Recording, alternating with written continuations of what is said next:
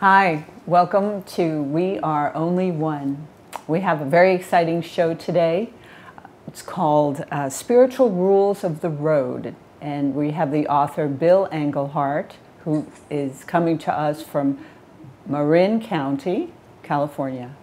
And we're going to be learning some practical tools as we drive through the journey of life from him.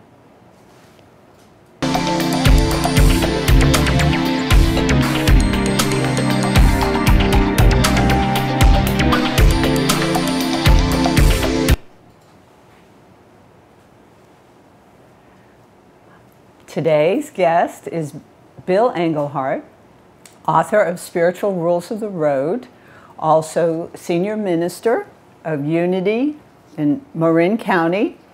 And I must say that Bill is a Renaissance man. The more I've learned about him, you have a black belt in karate, and you are a car enthusiast, as well as a black and white nature photographer. So um, today, I believe we're going to hear from the car enthusiast uh, in large part.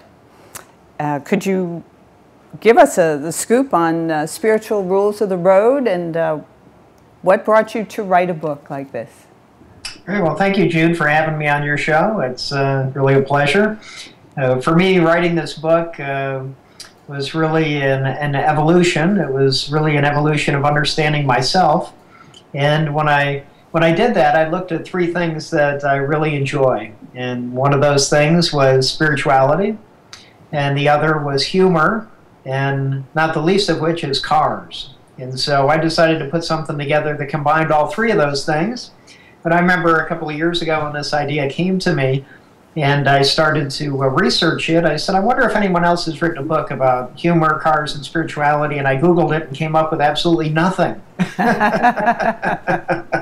so I figured, well, that uh, might have uh, dissuaded someone else, but uh, for me, I felt uh, that that was really the call that this is what was mine to do, mm-hmm. was to uh, take spiritual principles, to be able to explain them in a way that I think all of us can understand and appreciate because we all have experiences with cars and uh, at one level or another, whether it's car ownership, car repair, buying a car, getting broken down in a car, all those kinds of things that happen.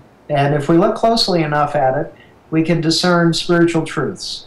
And those spiritual truths are what I tried to uh, denote in this book, uh, The Spiritual Rules of, of, the Road. And I really felt that uh, when I when I got my driver's license uh, many moons ago that you had to go through the uh, driver's ed program and you had to study the book and you had to go take a test at the Department of Motor Vehicles to really prepare you to be able to drive a car. And I thought that was all well and good. But as I grew older, I started to recognize that it would have been really nice if somebody would have given me a book about the spiritual rules of the road so when I face uh, challenges in life or I face difficult decisions, that I have have been prepared at least as much as I had to prepare for my driver's test when I was 16 years old. And so that's why I put this book together to be that kind of a manual and uh, actually to make it about this size so you can see so you can actually fit it in the glove compartment of your car instead of being on a bookshelf somewhere. Because uh, the way it occurs to me is that when we really are looking for some kind of insight, we're, we're generally on our way somewhere. Uh, maybe we're on the way to the hospital to visit someone who's ill, or maybe we're uh, going to have a difficult conversation with somebody and we are looking for some insight, or there's a challenge. Whatever it is, that if we're in the car and it's already there, it's the kind of book you can flip open, go to that chapter, and give yourself uh, a little bit of a spiritual tune up before facing some of those challenging situations. So I, I, believe it is one of the first books, if not the first book, other than an owner's manual, that was actually written to be kept in the glove compartment. So. one of its many claims to fame, Bill. I, I, I want to say I'm in New York right now, and I'm enjoying reading it on the subway But I have also uh, kept it in my glove compartment in my car when I'm out west. And it, what I really like about it is you have so many um, practical tools that one can get at a glance. It's, it's the kind of book you can pick up, and if you're in traffic and you're stopped for a while, you can read a quote and read half a page, and you're nourished by it. And I love something like that because we don't always have time to sit and read 100 pages at one time. And um, I, I just, I had a really uh, great time reading this. And I want to hear more about its development and your intention with it. If you would share some of that with us.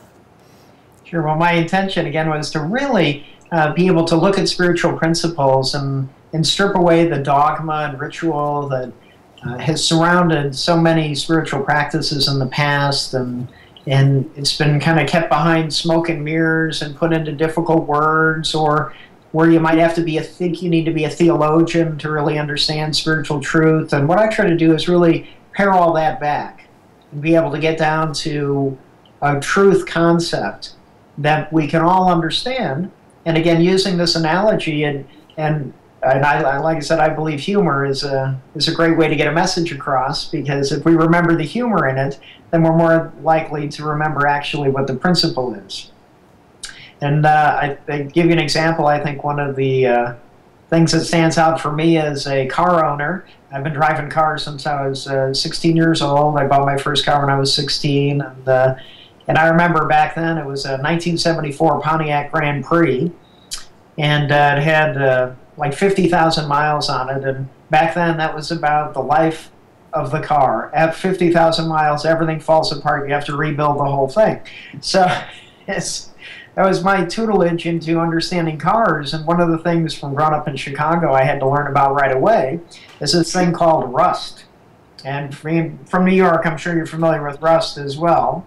That uh, that was kind of a mechanism. Even if you kept the car running, for many years that sooner or later they would rust out from under you unless you took really good care of it. And so, of course, my car had rust on it, and every year I'd be getting out Bondo, which, if anybody's ever worked on a car, it's this pink goo that you you mix together and you bond onto the car, and then you sand it and you paint it, and, and you do all these things to cover up the rust. But as rust never sleeps, which we've heard that before, and it doesn't, that every year I'd get a new chance to go back and redo that Bondo all over again and again and again. And I was thinking about this and thought, well, what kind of spiritual principle underlies this kind of idea of rust and covering it up? Mm-hmm. And, and I started to think about the concept of forgiveness, or mm. actually the concept of unforgiveness. Mm. And to me, unforgiveness is really like rust. Mm. It's one of those things in our consciousness that never sleeps when we're unforgiving, it's as if the, it's the equivalent of rust on a car. And it just continues to eat away and eat away and eat away at the metal and the structure of the car. And it's up to us to be able to not just cover it up, which I think many of us do when it comes on forgiveness. We don't want to think about it, or when we do, we get upset about it. We don't want to actually move into forgiveness, or maybe we haven't spent enough time figuring out how to do that. And the longer we're in unforgiveness, the rust grows and grows. And we may patch it, we may put something over it temporarily, but just like rust on a car, it's going to come back again and again and again. And eventually, what that does to the car is it really uh, degrades the structural integrity of the car. So if you were to get an accident or something else, that where there's rust, there's not the strength that was in the car before. And I believe that's really a perfect analogy to the whole idea of unforgiveness. When we carry around that unforgiveness in our consciousness, it's as if we're carrying around this rust that's just growing and growing and growing. And it's really undermining the integrity of who it is that we are. Because we're spending mental energy on this idea of not forgiving someone, and maybe part of that unforgiveness is we're not forgiving ourselves. But either way, the only way to fix truly fix rust is to cut out the metal that's around it and to be able to patch it with brand new metal, brand new steel. And when it comes to our forgiveness, the only way we can really forgive is if we're willing to let go of the past, if we're willing to reconcile within ourselves that it's healthier for us and for the whole situation for us to be able to get to a place of letting it go, then that's really the repair that's needed in our own consciousness as well as in our own cars. And then our car will run a lot better, won't it, when we're uh, not harboring that rust of resentment and anger and whatever else the ego uh, can put on the car. Um, that's right. That's that's, that's right. great. Forgiveness and rust. That's a great. I heard, um, and I'm sure many people have. Uh, trying to get revenge is like um, taking poison and expecting the other person to die. Um, you know, and how how much lighter we feel when we do get into the forgiveness space and the letting go and the realization that really no one in the spirit level can really harm us. That's right. And the, and the truth is, forgiveness isn't for the other person, it's really for us. Mm-hmm. Because we're the one that's carrying around that burden. As you drew the analogy about taking the poison, we're the ones that have taken the poison. And uh, it's really the cure, the anecdote, the antidote for us is to be able to really be in forgiveness. And again, it's really for us. It's mm. not so much for the other person. It's our willingness to let go of that burden, to be able to put it on the side of the road instead of carrying it with us wherever wherever it is that we go. Because that's draining. Mentally, mm-hmm. emotionally, physically, and it's going to show up in all three of those areas the longer we hold on to it. And that's really kind of a novel concept, I think, even though it's, I know the Fillmores have been around a while and the Unity and the New Thought movement uh, since the late 1800s. Um, but in my childhood, if someone had said to me, you forgive someone for yourself, that would not have made sense, you know? But now That's... it really does because you do feel so much better when mm-hmm. you do and that's where the spiritual truth that you know really comes through it's something that we all intuitively know we know when we're carrying around unforgiveness it's not hurting the other person one iota. They could care less. They may not even know that we're upset with them. But every day we we wake up with it we're the one that's carrying that burden around. And so for me to be able to lay that burden down to be able to bless it to release it um, that's just a real joy. And it really uh, improves the life that we're living right now. It sounds like uh, forgiveness is one of the uh, key ingredients to a GPS system in, in our car. What do you think? well, I have a GPS system. I had one of the earlier ones, and uh, whenever you went off track, if you didn't follow the direction, it would always say recalculating which to me just sounded like a nice way of saying, "He's stupid. You took the wrong turn." You know? so now I have a GPS that if I go a different way, it just it doesn't say anything. It, it just recalculates automatically. So I think it's forgiving me. well, they are so handy. I mean, I I've been driving maybe 30 years and I only got a GPS three years ago, and it's kind of, for me, uh, uh, parallel to um, the spiritual reawakening I had with unity and universal truth principles. I lived a lot of my life without that. And then, boy, what a difference. You, the journey, you can go anywhere now. You're free to choose, um, as opposed to a very strict map, if you will, that didn't work. That's right. And when it comes to the GPS system, as I've reflected on that and spiritual insights that we can get from that, on the GPS, we can enter in our destination and we can say, I want to go the direct route, I want to go by the highways, I want to avoid highways, I want to go on freeways, uh, you know, pretty much there's all kinds of different routes that you can take. And that's very true with our life. We're the ones that get to decide do we want just the direct route or do we want to take the scenic route? You know, those are options for us when we're going from play, play, place A to place B. How is it are we going to get there? We can lay out a plan, but even with the best laid plans, we can run into detours. We can run into changes that we had not expected that may take us off the highway of life and put us on a side road and we can complain about that and we can say well i wanted it to be done in a shorter amount of time which I think happens often, is a, is a big part of why we get upset at, at life, at spirit, at God, because things aren't happening in the time frame with which we think it should happen. And I think when we get into the GPS and we run into a detour and it takes us on a side road, if we can just accept that this is the best situation right now, that this is going to be the best calculation, it's going to get me where I need to go, then we kind of let go of that anxiety. Mm-hmm. We let go of that um, upset around the road changing when we didn't expect it. Now, one of the things that I've it's really hit me, uh, hit me right in the consciousness, is when I when I think of uh, GPS, and I think if it says turn right, I turn right. If it says turn left, I turn left. Whatever it says to do, I just do it. Now, do I trust God? Do I trust Spirit as much as I trust my GPS? Ah. Because when we get that intuition about doing this or doing that or doing this kind of work versus that kind of work or being in this relationship or ending a relationship or whatever it is, do we really listen to that?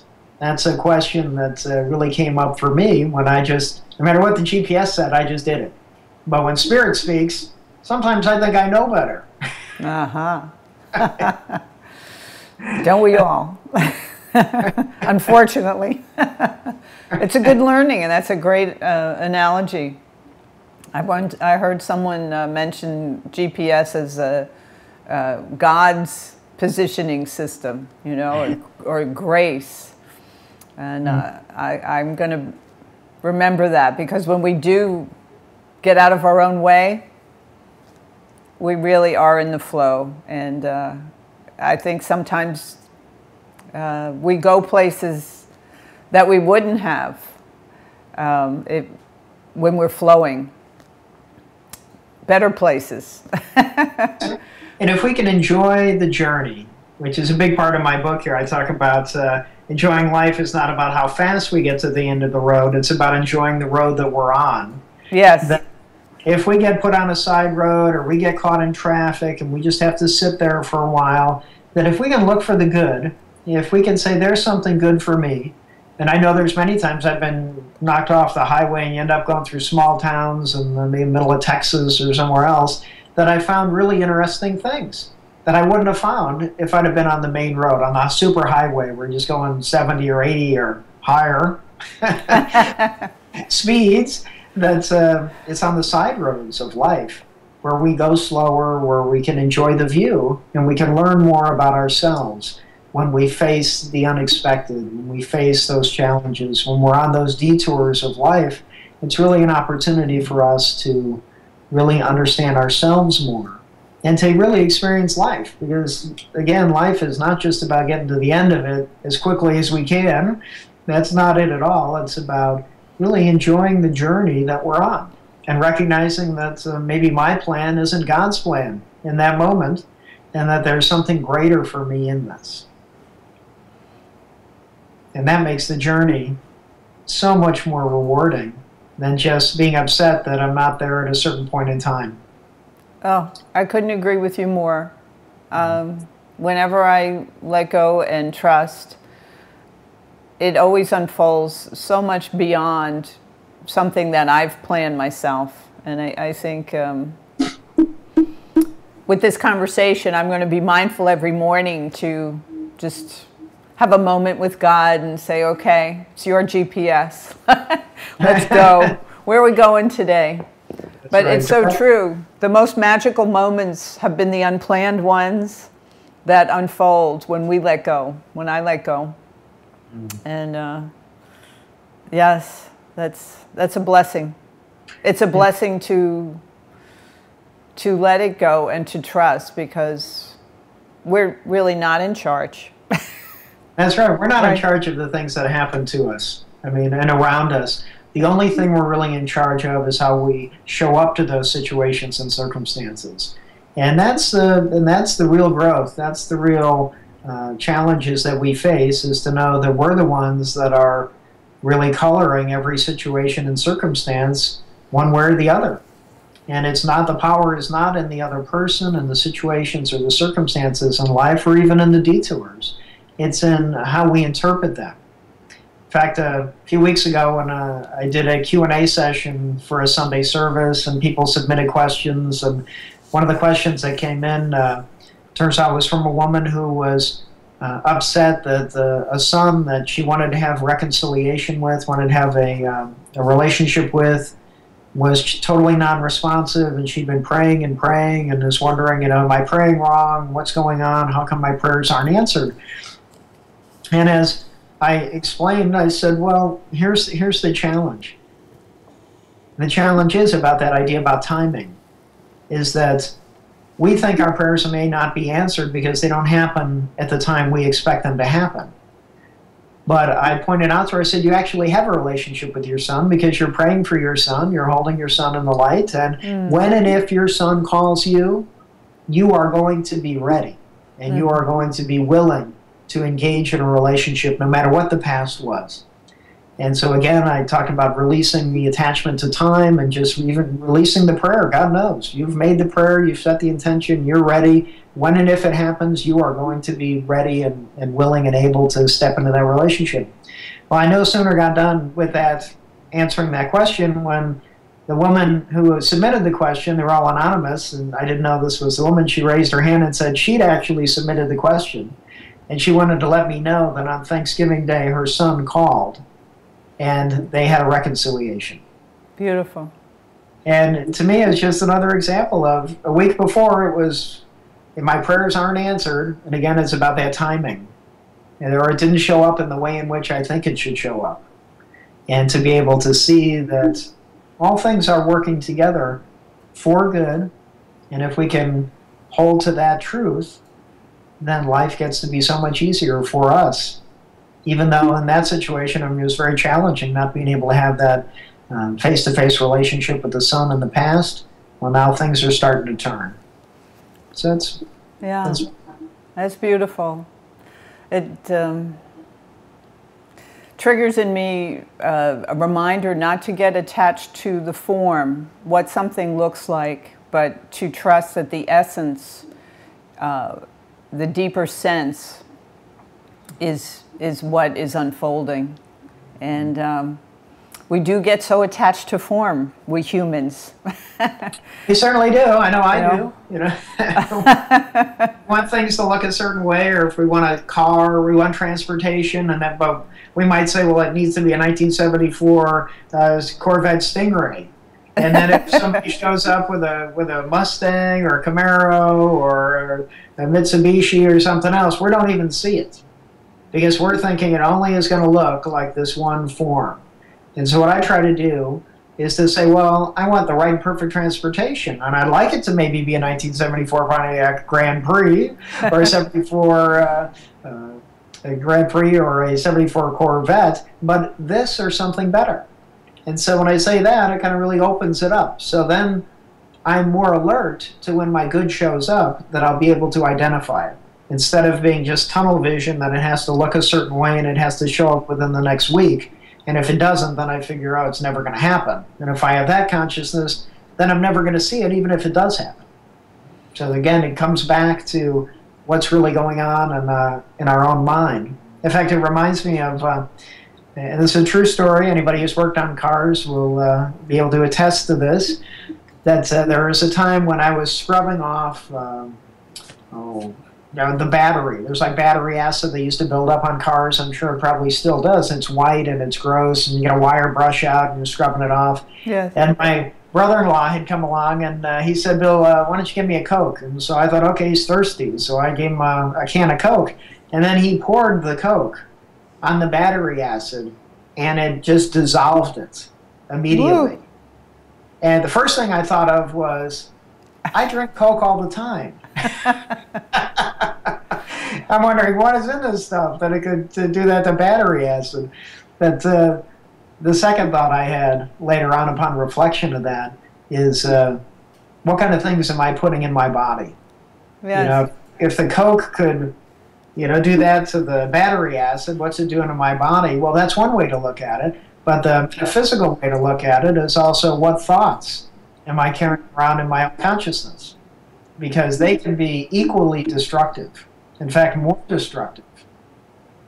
Yes. If, carrying around negative thought forms and habit patterns it can be very destructive.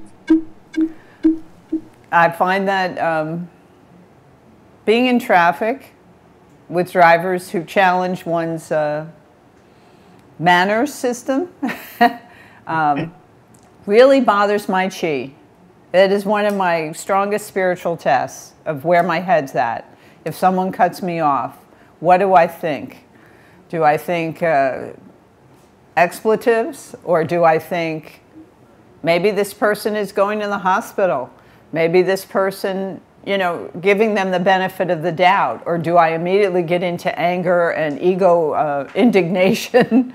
you know, it's very telling um, how, how we respond in the car to different situations. I think it really gives you quite insight into your psyche at that moment. Well, I think that it does, and this is just occurring to me right now. But uh, when we think about all of us driving down the road, and we're in our little bubble that we call a car, and we think the world is just what's in our car, and then we see all these other people driving around, and maybe everybody's car is just their consciousness, and so we all think that we're separate, and then we think that what we do isn't affecting anybody else, when in fact it does. When you cut somebody else off, or there's an accident, that we actually have an effect on each other. Wouldn't it be wonderful to recognize that even in traffic, every one of these people is actually part of a greater whole of consciousness? That we're all like strands in a web of consciousness. And how we treat each other is going to come back to us because we're creating a, a, a race consciousness, a human race consciousness. That's beautiful imagery because we really are all one and, and the car can create that illusion of separation. This is my car. this is my world. As and opposed to our world, right? Our highway of life. and people say things or they may uh, you know give gestures on the car that aren't always very polite that they would never do in person to somebody else. If you're just walking down the street, you bumped into somebody, you would be yelling and screaming or, you know, saying expletives to them. But in the car, it's as if we feel just so isolated from each other that anything goes. And it's not a good model. this is true. So being mindful of the spiritual rules of the road, very mm-hmm. key. Very key. We're all on the spiritual path together. Yes, we are. I heard you refer to um, Christmas as a as a road trip. I wonder. I think that's a first, I along with your book. well, when I think about uh, Mary and uh, Joseph as they were going uh, to get counted in the census, that was really a road trip that they were on.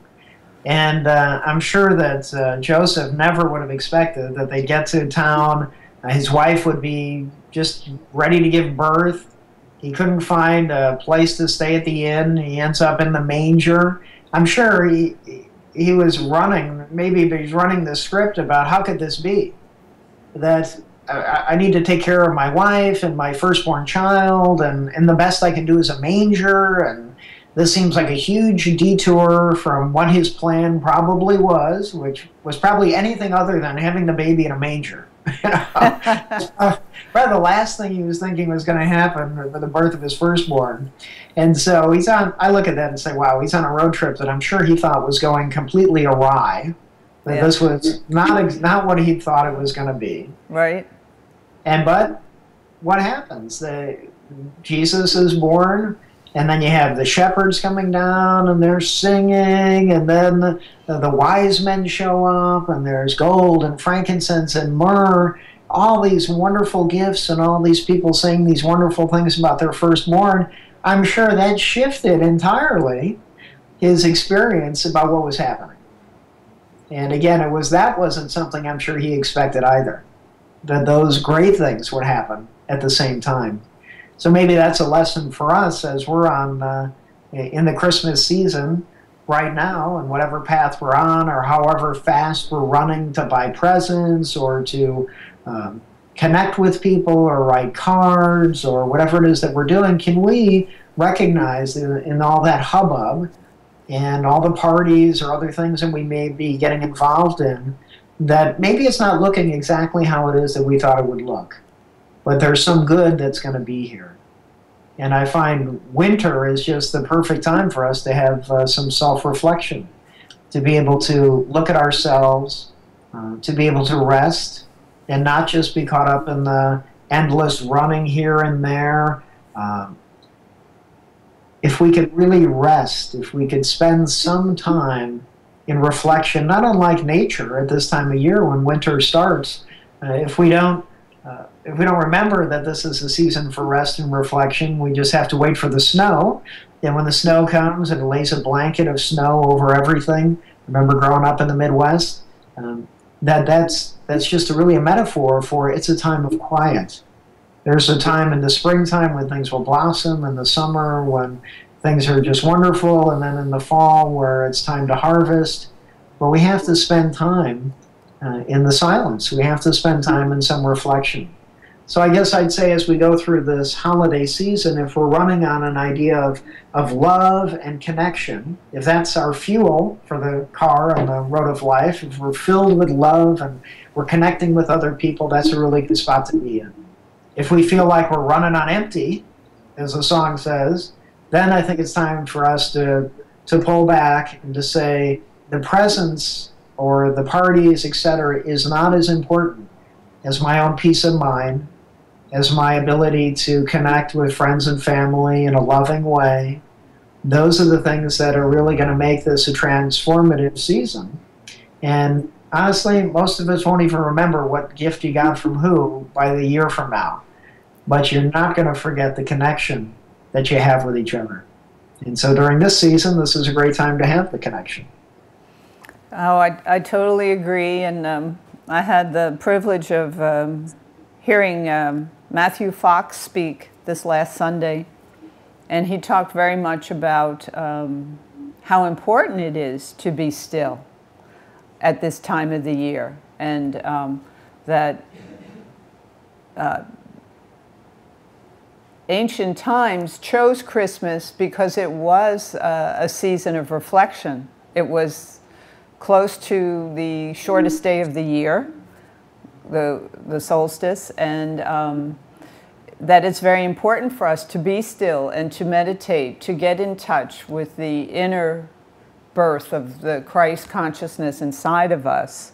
And with the holiday hubbub, which I mean, I love. I love New York has a lot of energy. There's a lot going on. The lights, the windows, the just the fun.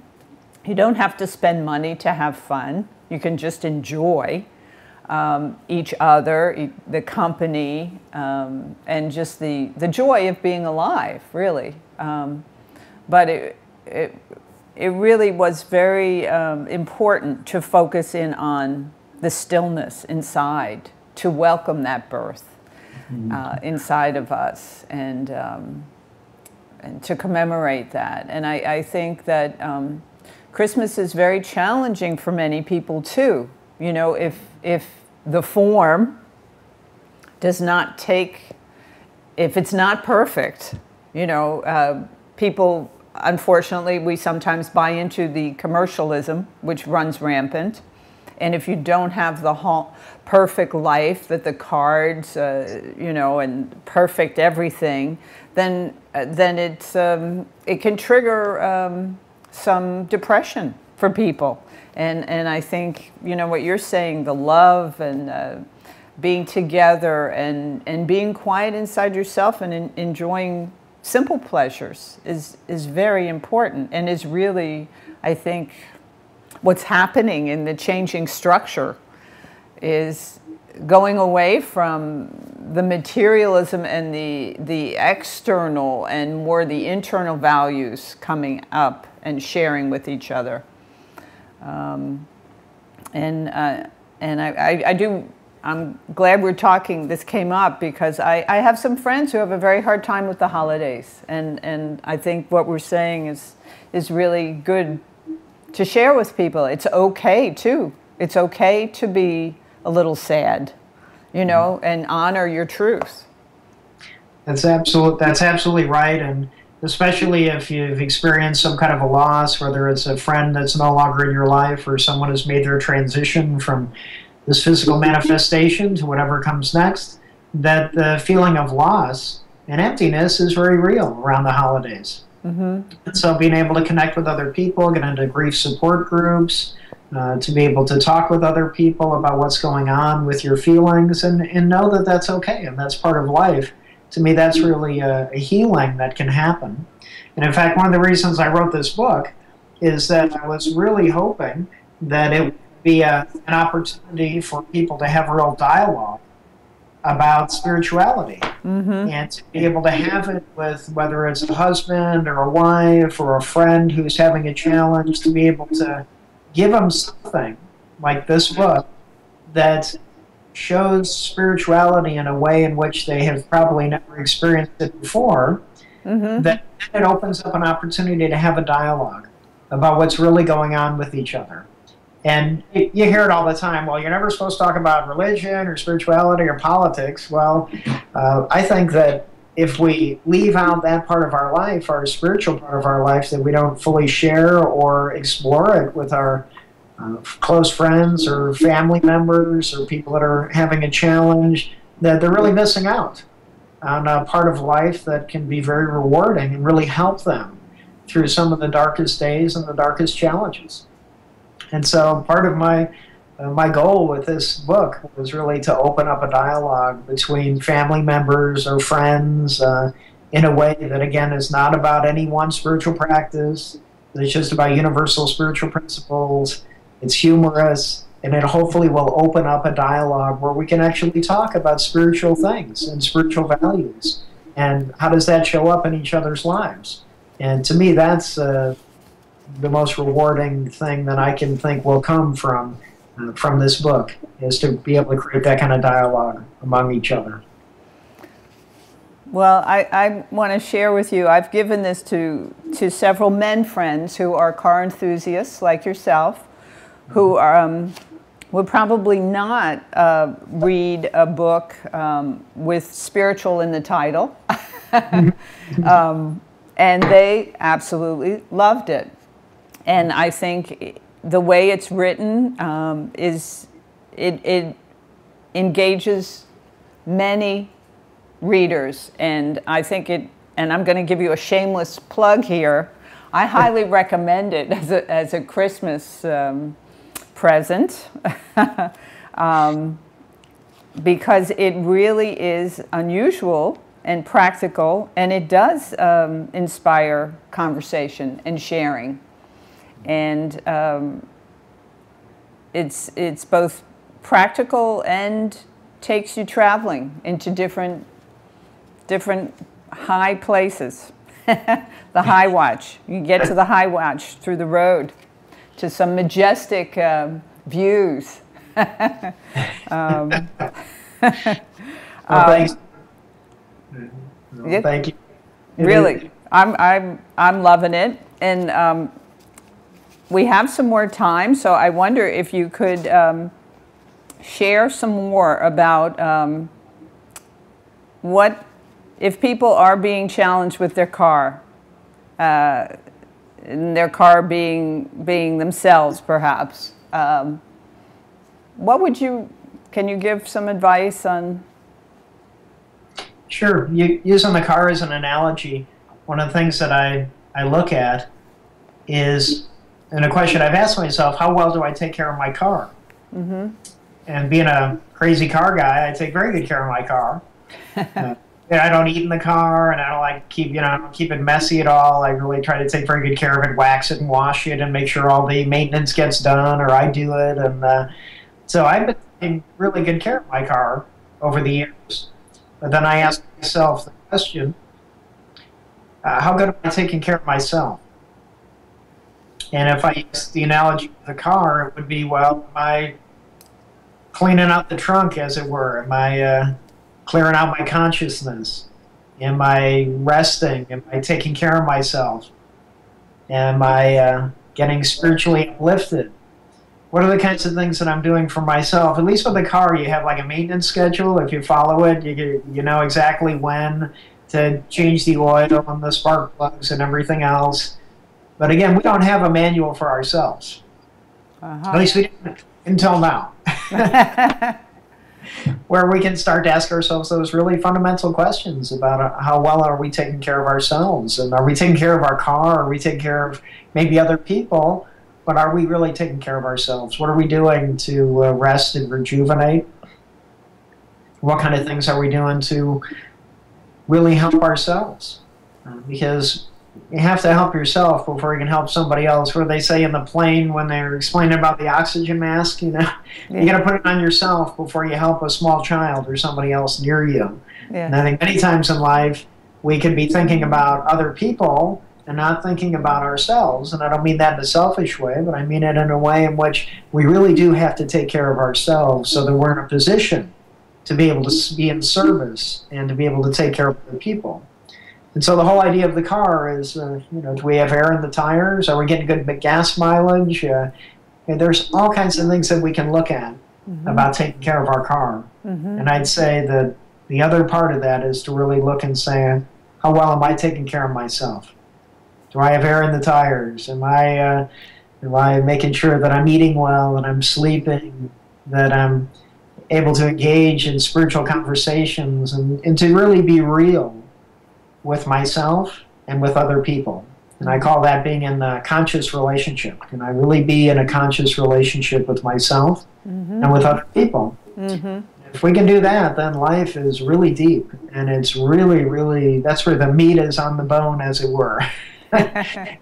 is to have those kind of relationships versus just being on the surface and um, you know that's where we spend a lot of our life is just really on the surface but again the meat of it is really in being present to who we are uh, getting a con- connection with who we are internally the spirit within and being able to share that authentically with each other that's really to me uh, one of the greatest gifts that we have the opportunity to take advantage of in our life I agree. Thank you. Um, I think it's a good good season to remind ourselves of that too, because it does become outer directed quite often, and getting and doing for others, um, and watching the clock. And it is so key to take care of ourselves first, to because if we're not, if we don't do that, then we can't be present with others. And I think you're right, our, our, our presence is our biggest present to That's others. Right. That's well know? said. And if you think about it, if you get a call from a friend who wants you to run over to help him and you jump in your car and you haven't maintained the car and the car doesn't start, you're not going to be able to get over there to help him. And so if we're not doing our own inner work to really prepare ourselves and to know ourselves, uh, then we could just be trying to jump into a car to into our consciousness that's not going to be in a place to help other people. And so it really does start with looking at ourselves and giving ourselves our own spiritual tune-up. yes, spiritual tune-up. I love that. I really do. It's great. I wonder if you'd take us on a kind of a prayerful um, journey for the season and um, I, I, do want to mention your website. Um, can you share that with us? I know we have it on the screen, sure. but it's uh, unityinmarin.org.org. So that's U N I T Y I N M A R I N dot org. And if you go to that website and just scroll down right on the home page, you'll see a picture of the book. And if you'd like to purchase it for yourself or for someone else for Christmas or any other occasion, you can just click on the link and it'll take care of it online. Great. Thank you. You're welcome. And um, wonder if you could take us on about a five minute journey um, meditation. Sure. Thanks. Let's do that. Let's let's collect ourselves right here now. No matter where it is that we are, no matter where it is that you may be tuning in from. Just take a few breaths so that we can center ourselves.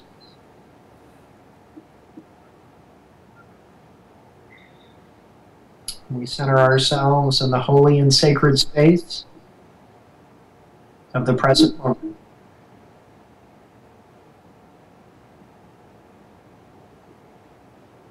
For it's within the present moment that everything occurs.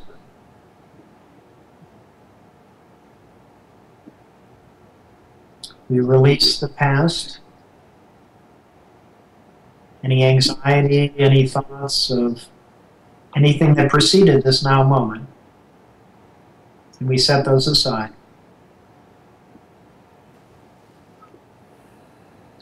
And we also set aside any thoughts of our to do list, what we're going to do after this time together.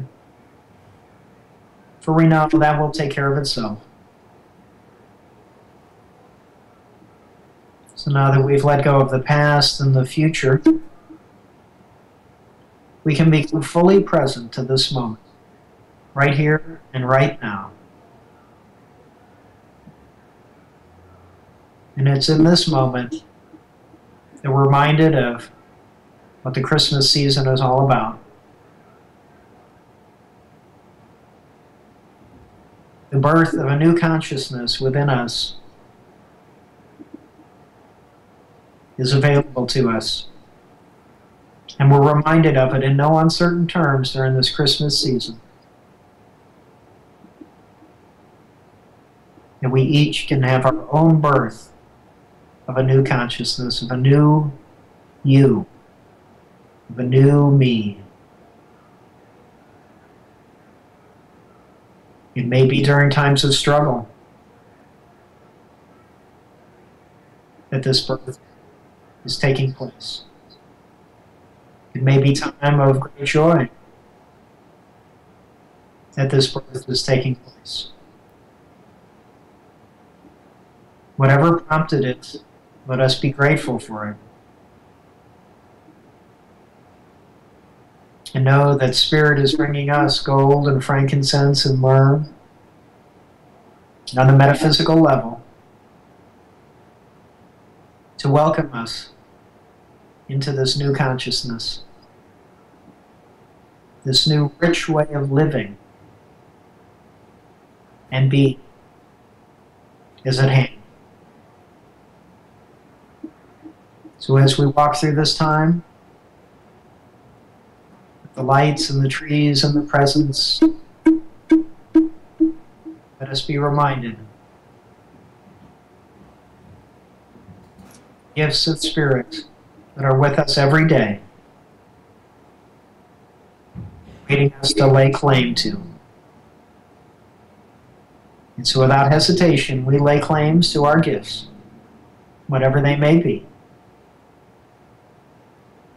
And know that we're guided and protected, loved and directed. So we give thanks for it all. Whenever we say Merry Christmas this year, or during this time, let it be a reminder of this truth, of the new consciousness being born in us. And so it is. Amen. Amen. Well, Bill, thank you for being an original wise guy here and bringing your gifts of the spiritual rules of the road and your creative insights. Uh, really enjoyed our time together. And I, for one, will be ordering several copies for friends. And um, I wish you a, a very blessed, joyous, happy time. Well, Merry Christmas and Happy Holidays to you too, Jude, and to all your listeners. Blessings. Thank you. Blessings. And blessings to everybody who's tuned in today. Um, as Bill was saying, every time you say Merry Christmas, that's saying Merry Christmas to yourself first and the birth of the Christ consciousness in you and in our inner divinity and sharing that with the world. Have a beautiful week and a beautiful holiday season. Celebrating Hanukkah, happy Hanukkah. Happy Kwanzaa. And just happy day, happy life. Many blessings to you.